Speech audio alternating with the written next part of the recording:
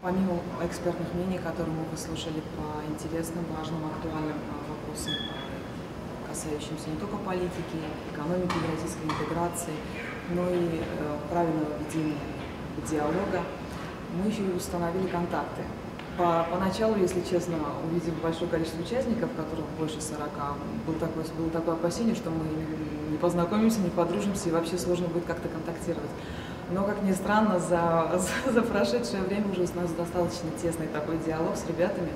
А многими подружились, установили контакты. Это очень поможет нам в будущем, каждому своей специальности, потому что среди нас не только просто эксперты, там, ученые, журналисты. Это очень э, важно для налаживания диалога. Страны разные, с разными ситуациями, с разными конфликтами. Армения, Азербайджан, Осетия, Грузия. Правда, были бурные дебаты, но главное, что мы приходили к какому-то консенсусу, потому что цель э, такова, чтобы выслушать друг друга, прийти к какому-то конструктивному диалогу, э, понять, сделать выводы для себя на будущее.